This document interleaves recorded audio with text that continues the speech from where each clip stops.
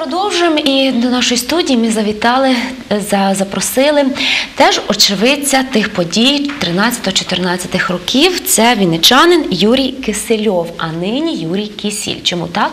Запитаємо. Доброго ранку. Доброго ранку. Скажіть, будь ласка, ви змінили прізвище одразу після Революції Гідності. Так. Е, це питання в мене стояло з дитинства. Тому що е, в метриці я був записаний е, батько мій буцімто Кисельов Феодосій Самсонович, а я в метриці про народження був записаний українець, але чомусь Кисельов. І я оце е, запам'ятав е, ще з дитинства назавжди і е, задавав питання багато разів, поки ще був малий. А потім, коли я виріс, то батько мені пояснив, в чому справа. Е, родина, рід батьківський Кисілів з Холодноярської республіки. Село Івангород. Е, і е, дід і прадід приймали активну участь в спротиві московської агресії в той час час 18-23 років. Для того і цей рід киселів е, своє прізвище е, ну, не хотіли афішувати і е, так, щоб його не було чути. Е, Під час е, Великої вітчизняної війни батька, е, батько пішов 29 червня 41-го року. Батько пішов в ополчення проти е, німецької навали фашистської, і там, е, попавши в російську частину, е, його записали як Кисельов. Паспортів раніше не було. От, е, от звідти і пішло це прізвище, Кисельов. Але, знаєте, козацька кров грає ще з дитинства в мене. Е, і я завжди хотів його змінити. Але настав такий Але переломний е, момент. так? е, раніше батько, ще коли був живий, казав Юра, ти знаєш, що це стільки треба всього поміняти, це така волокіта і тому подібне. Після Революції Гідності я, незважаючи на всю цю волокіту, вирішив, я кисіль. Я нащадник, нащадок Холодноярського роду. Все. І я змінив прізвище на своє родове. Пам'ятаєте той день, коли вирішили їхати на Майдан? Ви одразу ви спочатку на Вінницьке виїхали чи одразу в Київ? Ні, одразу Київ, тому що ви знаєте, е, е, період панування Януковича, тобто Бандюковича, це був страшний період в розвитку України. І з першого ж дня його початку царювання я е, дивився і засоби масової інформації, і дуже багато читав, і дуже багато знав про нього. Хто це, що це і як це. Ну, пане Привез- ми не вдаємося до політики, все-таки, так? Будемо поговоримо все-таки. Як, чому ви вирішили все-таки піти на Майдан? Е, Знаючи, що відбувається акція протесту е, студентів на Майдані, я в ту ніч страшну 30-31 не спав і дивився по інтернету, що відбувається. Побачивши цей жах, який е, Беркут зробив з дівчатами і хлопцями, одразу 31 числа Листопада. Е, та- е, Так, 31 листопада 2013 року. Я з друзями сіли на мою дев'ятку і з червоно-чорними прапорами з Вінниці поїхали вже в Київ. Е, Зупинились вже в Києві, були 31 числа, і е, з того моменту я почав приймати активну участь в е, протистоянні проти цієї банди влади, яка керувала. Що робили на Майдані? Я знаю, що у вас був позивний. Значить, е, На вас ще е, говорили Е, самоділки. З, першого, з перших же днів е, ми е, були, ми ночували і е, брали участь активно в акціях і ночували в штабі е, Конгресу українських націоналістів. Потім, коли е, по, пройшло неділя чи півтори, я вже точно і не пам'ятаю, в який це день було. Е, Під час е, обходу Майдану тодішнього, е, я побачив, що коло третьої барикади е, стоїть палатка, на якій написано Козятинщина. Ну це ж все-таки рідне, це ж наша Вінниччина. Я підійшов, стоїть троє хлопців, і ми розговорились. Вони, оказуються, всі, всі троє з Вінниці. От, і я перейшов вже безпосередньо до них. Е, вміючи і не, не, не вміючи сидіти е, просто так і нічого не робити, а вміючи е, робити такі досить гарні вироби з дерева, я побачив, що було привезено якраз дуже велику кількість обрізків, обапол і тому подібне, дерев'яних, якими можна було палити. Але в мене виникла думка, що я повинен з цієї палатки зробити дещо, е, щоб асоціювалося з Вінниччиною. Отак і виник, виник Вінницький курінь. І е, назву цю теж так само я дав у- цій е, Козятинській палатці. Виник Вінницький курінь, там частокол і, і арка, а потім моя дружина ще і спочатку я вивіску написав фломастером на дощечці. А потім, вже коли я приїхав на побивку додому, то ми з дружиною зробили величезну вивіску, яка зараз в краєзнавчому музеї Вінницький курінь. курінь. І оце е, допомогла мені моя, моя дружина.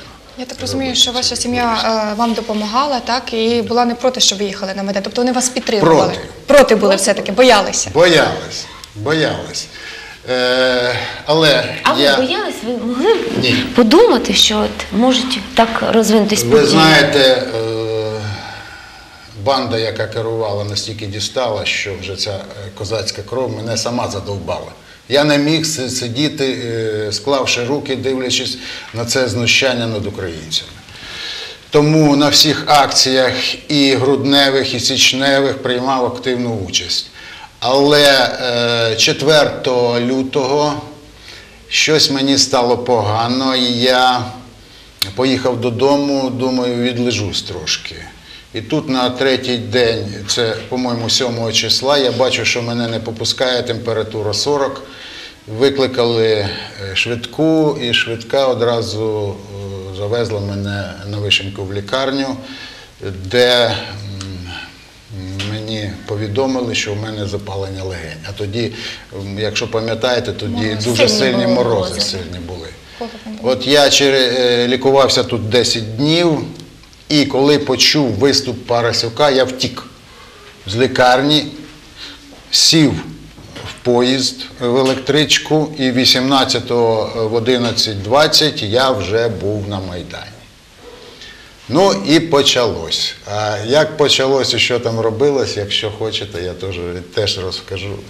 Розкажіть, будь ласка. Це, е, значить, коли я зайшов до себе в курінь, то всі хлопці вже, вже були на Інститутській і Маріїнському парку. Е, залишалось там декілька е, хлопців, які. Амуніції ніякої не було. Я все, що міг, то взяв тільки з собою е, шапочку майданку і дрючка дрючка, який виготовив заздалегідь ще вдома. Хто е, з старшого покоління знають, що таке амортизатори, на яких стоять, е, стояли станки.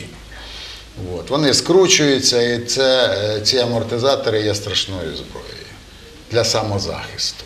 От з цією... Так ви захищалися. Я так, Так, я захищався, і слава Богу, що вона у мене була. Це, був цей дрючок. Е, одразу з куріння ми пішли на підмогу до е, хлопців, які на інститутській захищали підступи до, е, підступи е, до Майдану. До Майдану. Е, Безпосередню участь в спротиві я почав приймати вже на перехресті інститутської шовковичної. Отам я е, вже і трошки покерував, тому що е, двічі при наступі Беркуту був дещо переляк, але мені теж прийшлось приймати участь і зупиняти цей Беркут, який навалує своєю налягав. Двох ми тоді взяли в полон, відправили на Майдан.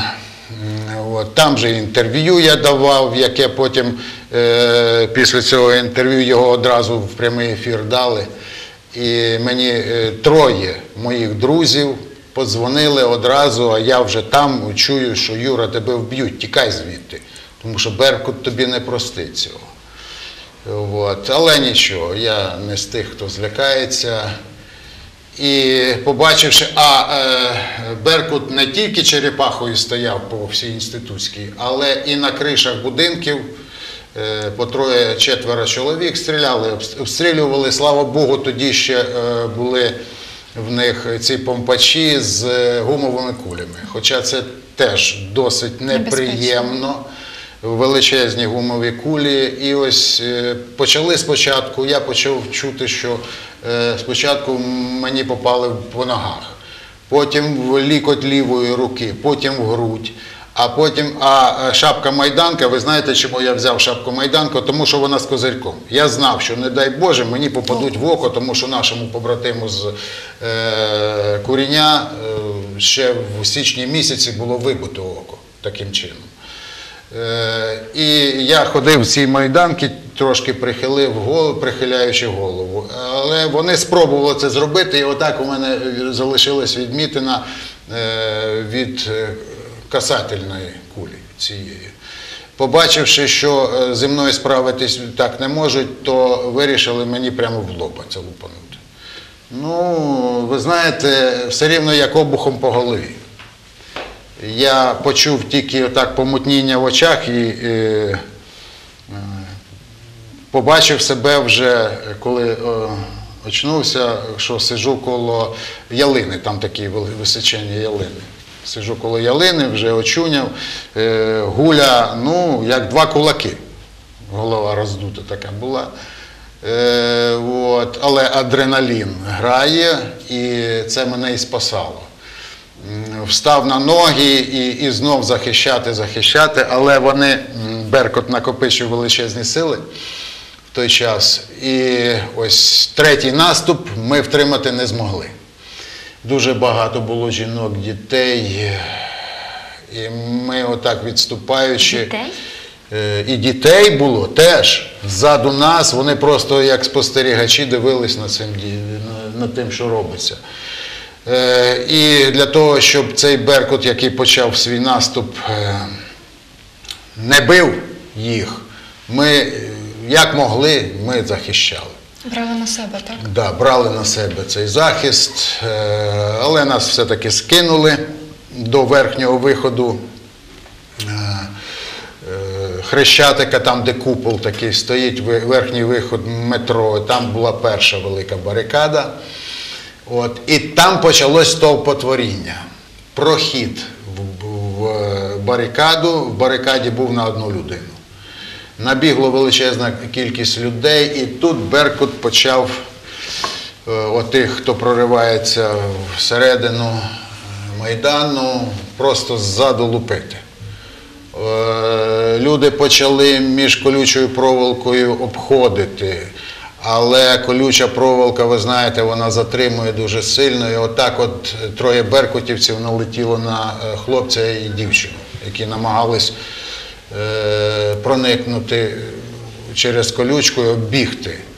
І почали їх лупити, і дівчину по голові, і хлопця цього лупити своїми дубінками. Ну, я підбіг е, і одного, другого, а третій з двома то справився, відігнав, а третій, от я вже розвертаюся, він мене в цю гулю своєю дубіною добре, що відхилився, а е, просто розрізав. Ну і тут все, вибачайте, потекло. Е, От, е, той теж відбіг, і це дало, дало мені можливість залізти під колючу проволоку, і тоді мене вже побачивши е, хлопці, дівчата, які стояли на барикаді, вони мене просто затягнули, І а вам потім надали медичну допомогу. да, надали медичну допомогу, бачачи, що я вже не- неадекват, вони просто за руки і повели в профспілки, де мене вже там декілька годин зашивали. Минуло 5 років. Ви спілкуєтесь з побратимами. Обов'язково. Ви, напевно, Це дійсно побратими, це браття і сестри, з якими ми спілкуємось і по телефону, і зустрічаємось. Е, І з коріння я вам е, хочу повідомити, з коріння взяла початок 27 сотня Майдану. Е, Це Півницька сотня. Величезна кількість, більшість хлопців і дівчат з 27-ї сотні пішли добровольцями в Айдар. Це герої, герої нашого часу, які, на жаль, зараз забуті. Е, Я, зважаючи на те, що здоров'я було ще не дуже, е, то я зумів піти е, на схід тільки в 15-му році в сектор С будував укріп райони. Тому що я теж не міг сидіти, склавши руки при е, москальській навалі. Ми вам дякуємо за розмову. Дякуємо, Дякую що були вам. відвертими сьогодні Дякую. в інтерв'ю. Я нагадаю, що у нас у студії в гостях Юрій Кісіль, очевидець і учасник Євромайдану. Далі дивимося погоду, після якої знову повернемося до нашої студії.